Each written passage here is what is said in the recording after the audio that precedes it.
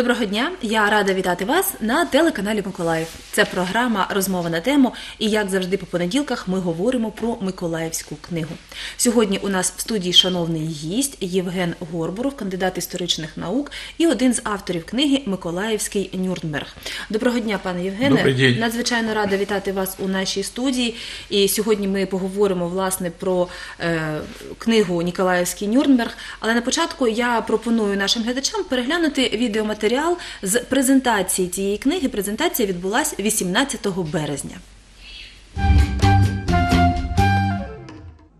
У книзі розповідається про жахливі злочини загарбників на території Миколаївщини у роки Другої світової війни та судовий процес, який відбувся над злочинцями 10-17 січня 46 року. Город Николаев очень серьезно пострадал в годы оккупации. За 955 дней оккупации э, было на Николаевич, в городе уничтожено в Николаевской области более 105 тысяч э, человек, в том числе э, тысячу только беременных женщин, э, 5 тысяч э, детей. Э, в- на принудительные работы в Германию, Королевскую Румынию было вывезено более 60 тысяч Євген Григорович впевнений, що громадськість не має права забути ці криваві події минулого.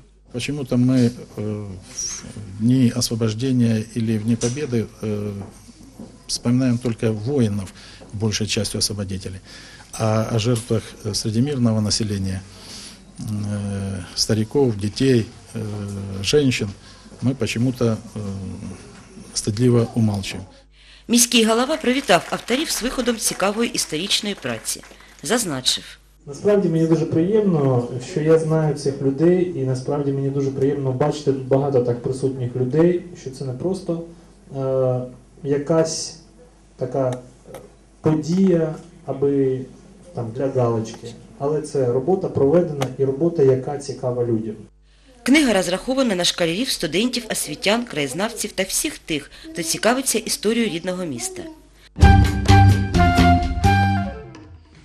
Отже, я нагадую, сьогодні ми спілкуємося у студії з одним з авторів е, книги Ніколаївський Нюрнберг Євгеном Горбуровим. Е, Євгене Григоровичу, е, власне, книга у нас є в студії. Зараз я покажу її нашим глядачам. А на початку я прошу вас розповісти, як виникла ідея написання цієї книги, що саме підштовхнуло вас до неї. Первое, э, что над э, данной книгой мы работали э, на протяжении нескольких лет.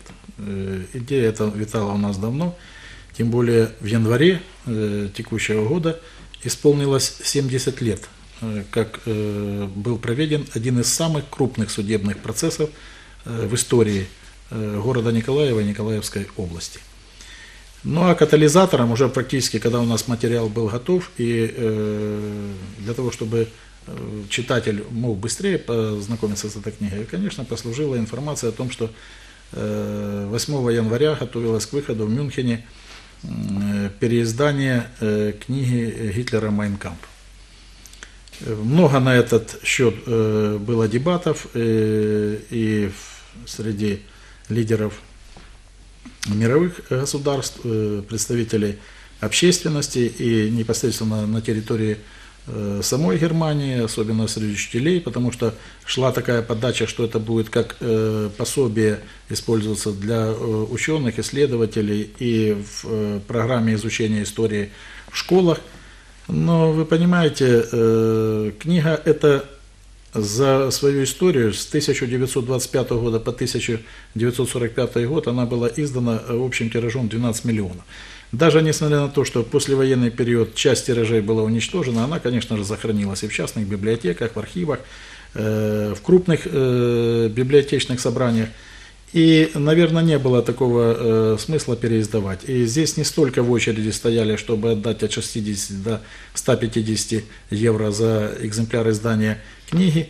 Э, ну, только приведу цифру. От 8 января первых 4000 э, тираж был раскуплен за день. Сразу же э, это не удовлетворило заявки еще 15 тысяч, а после 15 тысяч пошло уже второе, третье, и так дальнейшее издание. То есть в геометрической прогрессии тираж этой книги будет расти, и э, я думаю, что и издатели м, где-то лукавят, и они не, не забывают, что эта коричневая Библия м, будет как бы фундаментом для того, чтобы э, неофашизм э, поднимался с колен. Это э, не совсем нормальная тенденция. Тобто ви вирішили на противагу, щоб нагадати про ті злочини, які відбувалися проти мирного населення в першу чергу, видати Н- свою книгу. Не столько противага, а, как я уже и сказал, э, 70-летие э, это процесс, это дата. И другое, что фактически э, Александр Пательчак, доктор э, наук, он издал э, в- э, на территории, э, ну, э, за вот эти все годы две научных работы, посвященные Николаевскому процессу. И э, наш краевед э, Сергей Гаврилов в феврале 2013 года в «Южной правде» опубликовал статью, которая тоже называлась «Николаевский Нюрнберг», но она э, не столько освещала процесс, как э, вот становление э, международного э, судебного права по э, итогам этих всех военных преступлений в годы Второй мировой войны. Е, Коли ми говоримо Ніколаївський Нюрнберг, ми маємо на увазі процес, який відбувався у Миколаєві над злочинцями, е, фашистськими е, німецькими загарбниками. Да, этот процесс готовился заранее, сразу же после э, освобождения Николаева. И, э, в принципе, э, международное сообщество, оно давно ставило вопрос. э, Это 9 государств, э, которые были оккупированы немцами в годы Второй мировой войны. Они обратились э, к руководству Соединенных Штатов, Великой Британии и СССР э, провести э, суд над немецкими преступниками э, э, по итогам э, победы за те преступления против э, человечества, которые они осуществляли на оккупированной э, территории. Хотя здесь тоже были э, спорные вопросы, но мы тогда, если будем рассматривать этот аспект, мы уйдем непосредственно от книги. Хочу сказать другое, что и Черчилль, и Рузвельт, они тогда наставили, особенно Черчилль, на скорой расправе, чтобы не было никакого международного трибунала. Поймали преступников, расстреляли и на этом дело забыли. Но так нельзя. Э, Они должны были покаяться, раскаяться и э, признать свою вину, э, лишить их э, очень быстро э, жизни преступников, это было бы для них э, легким исходом. Е, Коли ми говоримо про окупацію е, Миколаївщини і злочини проти мирного населення, е, найчастіше ми озвучуємо німецько-фашистські загарбники, але ж насправді тривалий час е, румунські окупанти е, панували на Миколаївщині, і місцеве населення теж значно постраждало саме Ну, щас- від румунів. Правильно. Часть территории в нашей области была же разделена. Она отошла э, под протекторат Королевской Румынии, так называемая Транснистия, а часть была под э, оккупацией э, немецких войск. И действительно, те, кто пытается представить иногда э, такими невинными овечками, румынами, и что там все дело у них было э, мирное и гладкое, они очень любили мирное население, они ошибаются. Это были э, тоже не менее кровожадные э, убийцы, садисты э, и мародеры. На- Скажіть, будь ласка, є е, свідоцтва е, суду саме над румунськими окупантами чи виключно над німецькими?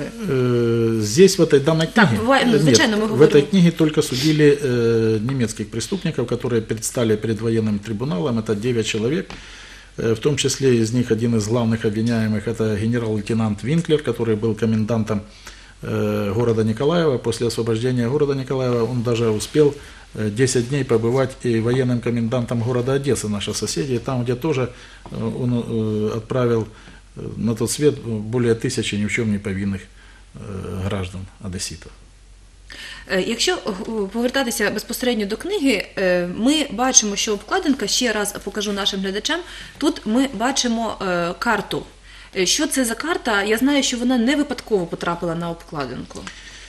Эта карта осталась от э, одного из высокопоставленных э, немецких э, офицеров, который квартировал э, сегодня это э, на улице Третьей Слободской, э, в доме одной из жительниц Николаева. Она и сегодня жива, и она любезно предоставила эту карту немецкую военную для того, чтобы мы могли ее использовать как иллю- иллюстративный материал. И напомню, здесь же видите все населенные пункты, город Николаев, все написано на Все на немецком немецк- языке. немецкой да, мове, карта оккуп- э, оккупанта очень подробная, очень интересная, отдельных сел, и благодаря населенных пунктах, благодаря немцев, их карательным операциям они не существуют. Мы должны не забывать, что э, более 105 тысяч жителей Николаевской области э, было уничтожено. за 955 дней оккупации и э, более 60 тысяч, а сам генерал Винклер, э, он давал показания на этом трибунале, что 70 тысяч отправлено на принудительные работы. Тобто навіть не всі дані збереглися, Ну, не, не конечно. про всіх відправили. Э, Вот в архиве, в нашем э, Николаевском государственном архиве хранится первый акт э, ноябрем месяца 44 года, э, который был составлен комиссией по... Они пе- обсчитывали э, ущерб, причиненный и э, в социальной, промышленной сфере, э, населению э, области. Там стояла еще цифра 25 тысяч э, 300 человек, которые были отправлены на принудительные работы. Это оказалось в дальнейшем далеко не полная цифра. Більше ніж два рази занижена Да, но цифра. это, это был первый акт. Потом в дальнейшем все-таки вышли на цифру около 60 тысяч. Действительно было э, то, что смогли доказать, отправлено на принудительные работы. Э, Может быть, не сохранились те данные, когда немцы в спешке, э, уже э, чуя, что они будут покидать Николаев, Николаевскую область, они отправляли людей, может, каким-то чудом эти документы пропали. Хотя немцы, они до последнего гвоздя вели такую статистику благодаря своему педантизму. Надо работать, значит, в архивах Германии, исследовать этот вопрос. Но он не должен остаться неизученным. Про те, що е, ця тема не може бути е, не вивчена, не можна її залишати невивченою. Про те, що забувати подібні злочини ми не маємо права. е, Ми і говоримо з вами сьогодні. Е, м, Трохи повернуся. Ви сказали, що карту, яка на обкладинці, передала вам е, жінка, е, мешканка Миколаєва. Це означає, що людина стала свідком окупації, вона пережила цю окупацію. Она, она была свидетелем оккупации, хотя была маленькой девочкой, но на презентации вот была э,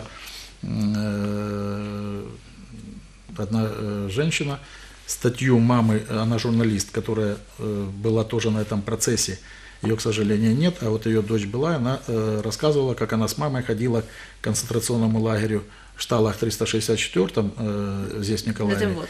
и на, на Тимводе, и бросала с мамой э, через проволоку нашим э, там пленным находящимся кусочки хлеба, чтобы они могли выжить, а за это э, немцы били их резиновыми палками, э, травили на них собак, отгоняли, чтобы э, не делали. Но это еще они хорошо отделались. Отдельных немцы э, тоже затаскивали туда за колючую проволоку или расстреливали. Все зависело от их настроения.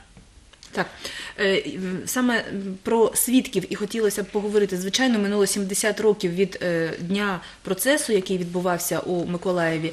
Е, Чи залишились, е, е, можливо, якісь свідоцтва письмові, е, саме людей, персональні якісь приклади? Е, і Чи, можливо, вам до- м, вдалося навіть поспілкуватися з кимось із В свідків? этой книге мы приводим э, отдельные акты э, по эксгумации э, захоронений э, расстрелянных мирных жителей и военнопленных. Здесь могут э, читатели ознакомиться. Э, Шесть актов таких приводится о крупных зверствах э, немцев.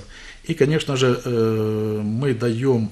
Вот как публиковали газеты, репортаж, а все центральные газеты э, Украины – Э, Наши местные газеты, это «Південна правда», э, тогда издавалась и «Бухская заря», э, слово в слово, э, без купюр, э, что э, происходило на процессе. И здесь тоже І свідоцтва самих е, свидетельства есть. підсудних? Э, 33 человека э, выступило на судебном процессе, э, их опросили, да, ну, правильно говорить, допросили свидетелей во время судебного процесса. Вот 33 человека. В процессе подготовки 100 ч- свидетелей было э, допрошено, и они дали показания о зверствах э, военнослужащих э, германского вермахта э, в годы оккупации на, Николай- на территории Николаева и города Николаева. Ці свідоцтва ми можемо прочитати в книзі. Безусловно.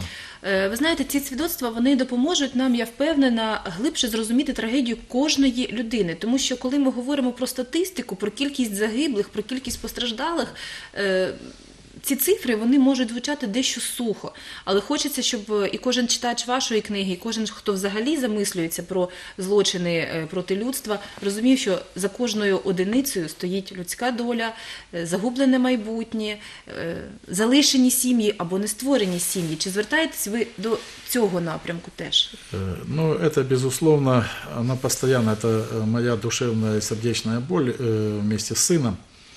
Э, Понимаете, назвать цифру или, или 30 миллионов, Э, Вы правильно говорите, для молодого поколения, они, ну, многие, может, даже не знают какая-то цифра, сколько там нулей. К сожалению, так образование, э, может быть, сейчас и идет, что им трудно это все в мозгах своих просчитать. А сколько среди этих людей не стало из-за прерванной жизни великими учеными, педагогами, э, врачами, художниками, поэтами. Когда мы задумаемся, то э, это страшная статистика получается. Мы вот возьмем, я только один пример приведу. Все знают такого известного ученого Кондратюка, э, благодаря которому расчетам американцы высадили, э, висадились на поверхність Луни. Тобто він зробив такі розрахунки. Він зробив такі розрахунки, і він е, загинув при е, обороні м, е, Міста Москви. Ці щоденники, е, потім вони були забрані кимсь із німців, потім вони е, залишили, як е, хтось з- американців вже під кінець війни знайшов ці щоденники в Німеччині, і вони були вивезені в Сполучені Штати. Так а якщо б ця людина не загинула, якщо б її не- не обірвало життя, скільки вона могла корисного зробити не тільки е, для українського народу, тому що він українець був, а і взагалі для всього е, світового суспільства. І таких примірів е, сотні тисяч. Сколько поэтов э, погибло, с, э, писателей э, от войны. И не только на полях сражений, а в концентрационных лагерях, потому что кому-то не понравилась цвет кожи, кому-то не понравилась э, национальность этого человека и так далее. Это разве это серьезнейшее преступление э, против человечества. И поэтому, когда сейчас возрождается в разных странах, Настольной книгой много сейчас молодежи, вот эта Майнкам Гитлера, э, она пользуется большим спросом в Турции, в Японии ее издали, ее издали в Индии, э, в Соединенных Штатах. На Украине у нас издавало Харьковское издательство эту книгу. Э, Вы же понимаете, мы же не знаем, что оттуда возьмет э, молодой мозг, молодой читатель. Э, Возьмет он оттуда зло или добро. И как потом... Хтось, можливо, просто навчиться протиставляти себе подібній ідеології.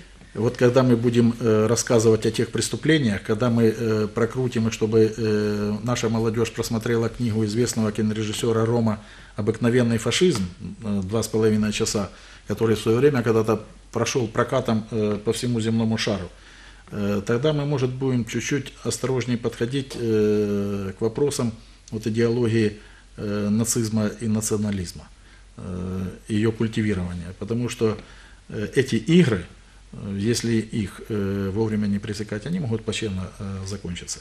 Я хотел бы сказать, что мы сегодня прививаем у нас патриотизм э, среди нашей молодежи, но э, его нельзя прививать без того, что вначале нужно привить общечеловеческие ценности.